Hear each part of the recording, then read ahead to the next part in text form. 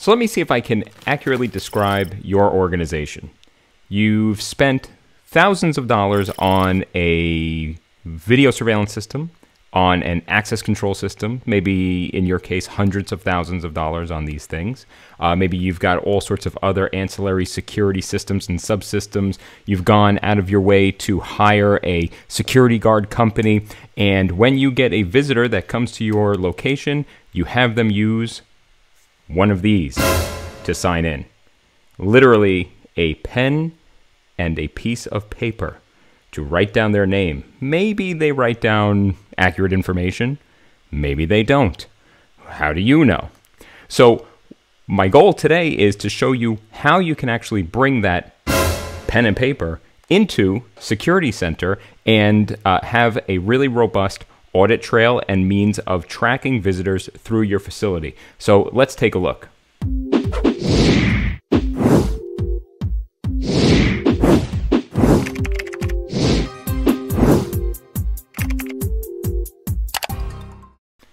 Okay, so first things first, we're back in the security desk application. Uh, this should be generally familiar to you if you've been, uh, if you are a Genetec customer, or if you've been watching some of these videos. So what you uh, may notice that's new here is the visitor management module. So this is an optional module uh, that is uh, available for purchase. Uh, contact your local regional sales manager. I'll leave a, a number below that you can call to get the contact information for your local RSM. Uh, when we click on that, it will bring us to a new tab and a new task called the Visitor Management Task. And exactly as it is described, this is for managing visitors that come to your facility. So rather than having them come up to the receptionist station or the guard station and putting in their, their name and, and number on a piece of paper, your guard or receptionist can say, Hi, how can I help you? Oh, you're here to visit so and so? Okay, great. Let's check you in.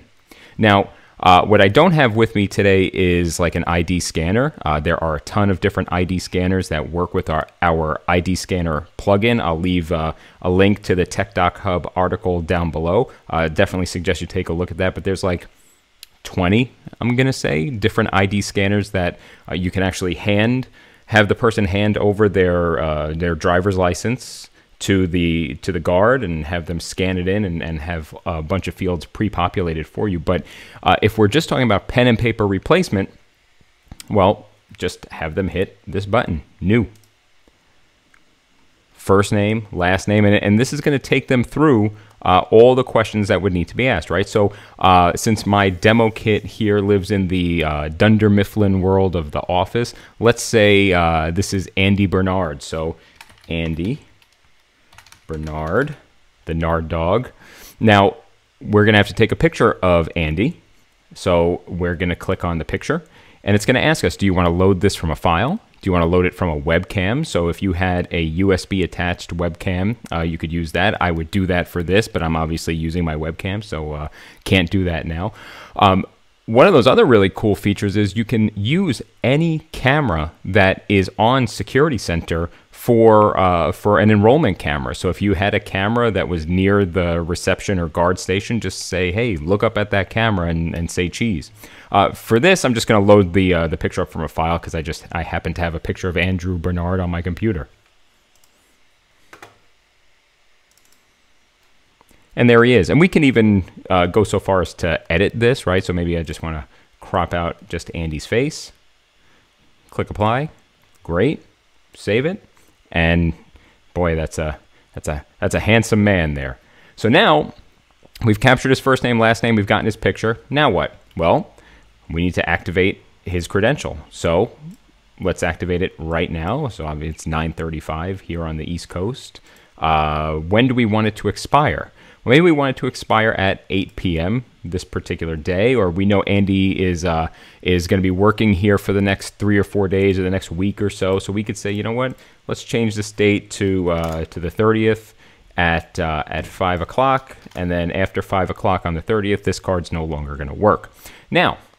Uh, which cardholder group are we going to assign Andy to? He's going to be in the visitors cardholder group. You can open up other cardholder groups uh, for selection here, uh, but just to for the sake of simplicity, we're going to drop him into the visitors group. let's put in an email address for him. So a Bernard at dundermifflin.com. I'm just I'm making that up. I'm assuming that that's his. Uh, that would be his. Now, uh, we can also require an escort or a visitor host. So we could say, who is going to host this particular person? Well, in this case, it's going to be Pam. Pam's the, the receptionist at, at Dunder Mifflin, depending on the season that you're watching. Uh, and then we can say, well, when is Andy expected to arrive? Well, this is the time that we expect Andy to arrive. Uh, and does Andy require an escort? If so, we're going to check this box. Now, Andy won't be able to go through certain doors unless the escort, which is Pam in this uh, particular instance, is with him. So um, we can make sure that Andy isn't using his proximity card to get into areas where he's not supposed to be, or if our policy is Andy can only go through these areas with a escort, well then we will make sure that Pam is is with him in that case. We're going to turn this off for now. And then reason for visit. So this is a custom field that I threw in here and I made it mandatory. You can't move on to the next step unless you put something here. So uh, maybe he's here for a, a, job interview. In the advanced section, uh, do we need to extend grant time? In other words, uh, is this person uh, disabled? Uh, do they require extra time to get through the door? Yes or no? Uh, so you know maybe he needs an extra 10 or 15 seconds to get through the door. So we'll we'll put that. Do we want to enforce our anti-passback violation rules? What security clearance level do we want to give him on a scale of zero to seven, where zero is the uh, the highest and seven is the lowest level of security clearance? Uh, this is used in conjunction with. Um, with uh, secure areas and with threat level management. So if we want to lock certain people out of areas during a crisis, uh, this would be uh, this would be how we would do it. Or if we want to make a more secure area inside of our facility, only people with a security clearance level of a three maybe could get through. We'll just leave this at a seven for now. Uh, we can give him, uh, you know, an, an, a name, a description, and we can put in a ton more custom fields. Finally, at this point, we need to give him a credential. So do we want to give them a proximity card or do we want to just give them like a paper badge? So first thing I'm going to do here is I'm just going to save it. So now Andy is in our visitor management system. Let's add a credential. So let's say we did want to give them a proximity card. We can either manually enter the the information on the particular card that we're going to give them, or, and this is one of my favorite features, automatic entry.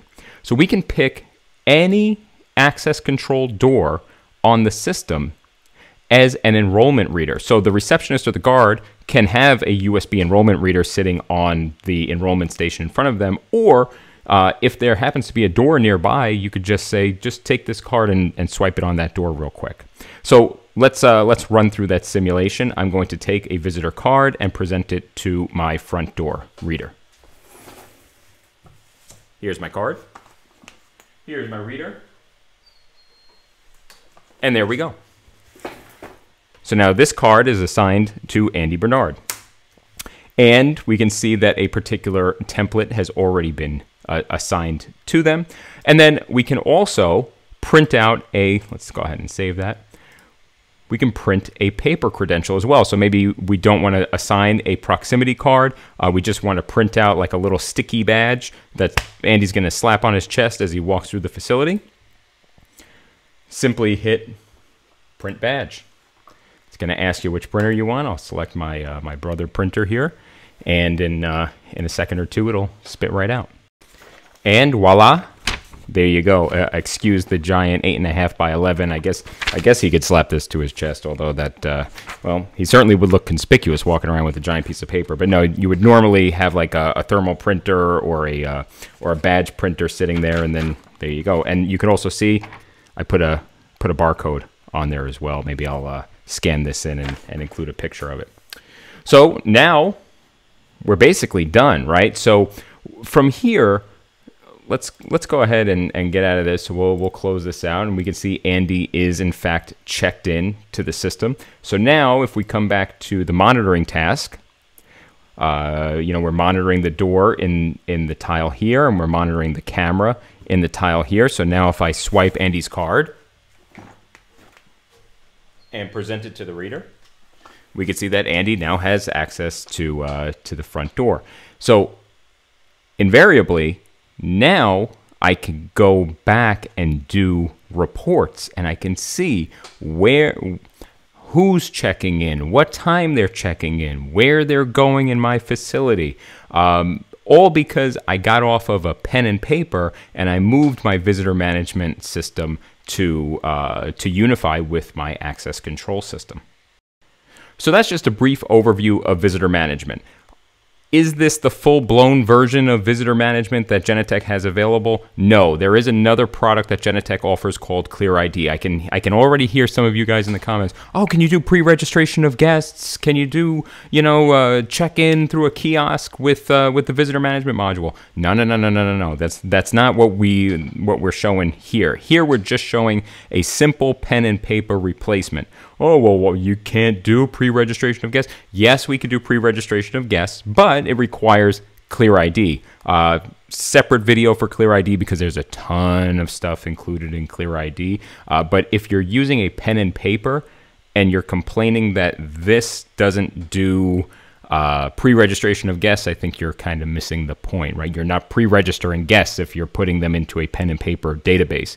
This is a way to get rid of that pen and paper and provide some real uh, tracking and auditability. So that's visitor management. My name is Phil Coppola. I'm the regional sales manager for Genetec in the great state of New Jersey. Yes, the great state of New Jersey. Now, if I don't say that, people freak out in the comments. If you like this video, be sure to give me a thumbs up and smash that subscribe button to receive more great uh, video content like this. We're going to be releasing a lot more of these videos in, in the near future, so make sure you are subscribed to the channel, and we will see you on the next one.